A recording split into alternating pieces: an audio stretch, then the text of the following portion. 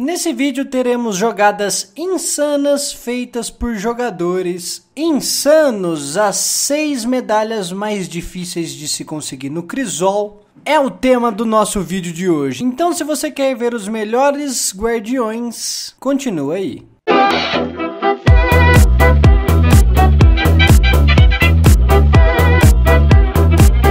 Galera do YouTube Marechal Rambo aqui de volta com Destiny e eu quero saber se você tem as medalhas que eu vou colocar aqui. Essas aqui são as medalhas mais difíceis de se conseguir no Crisol. A primeira que eu coloquei aqui é a marca do intacto.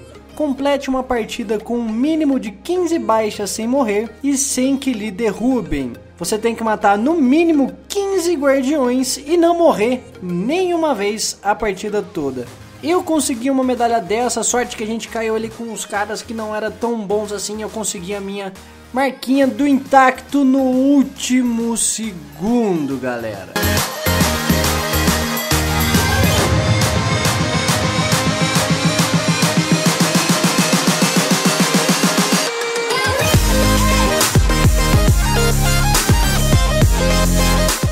A segunda medalha se chama Espectro, derrote sete guardiões sem receber nenhum dano. Aparentemente é uma medalha fácil, porém ali não está falando que você tem que matar os sete guardiões seguidos. E quem temos aqui no próximo vídeo, claro, Maccraft. Eu vou colocar o link de todo mundo que vai aparecer aqui no canal.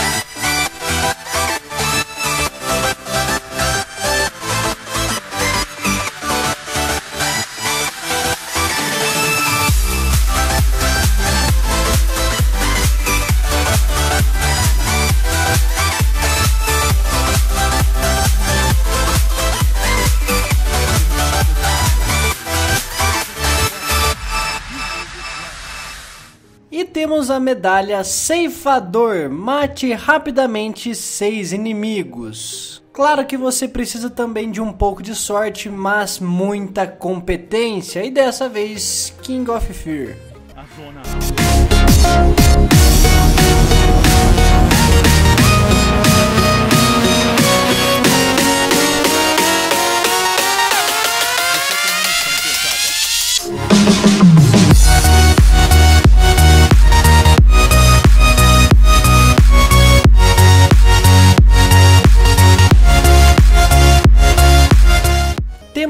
Soma de todas as lágrimas. Vença uma partida de briga com uma pontuação maior que a soma dos seus inimigos. Se você gosta de jogar briga, que é aquela que você joga contra mais 5 caras, cada um por si, você precisa de 2.500 pontos para vencer. E somando a pontuação dos seus 5 inimigos, não pode ultrapassar 2.500 pontos. Você tem que onar nessa partida. E Olha só quem está aí, bacon frito. Munição pesada a caminho. bem.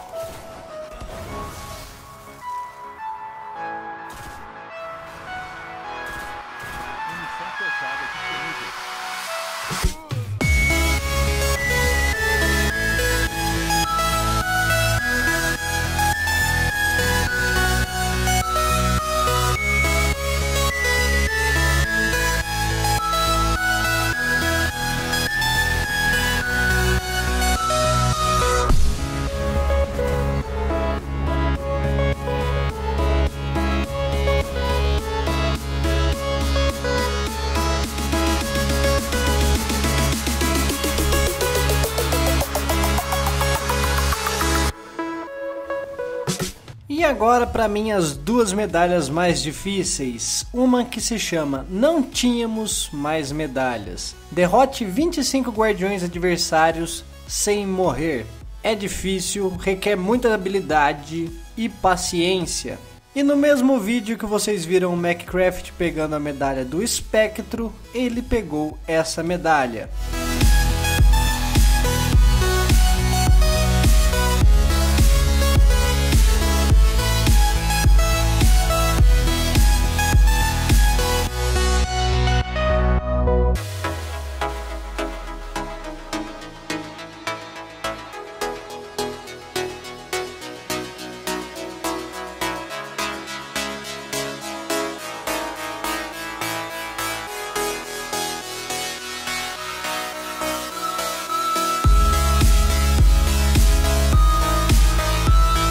E a última medalha, a sétima coluna. Desafia as probabilidades ao matar rapidamente sete inimigos. Galera, se tem no máximo seis inimigos no outro time, como que você vai matar rapidamente sete inimigos? Eu vou colocar aí dois vídeos do Fernando Axer fazendo isso. Vou colocar o link do canal de todo mundo aqui na descrição. Se você tiver um vídeo foda, manda pra mim no meu e-mail destinymarechal@gmail.com. Eu espero que vocês tenham gostado desse top 6. Se inscreva no canal para não perder os próximos vídeos. Muito obrigado.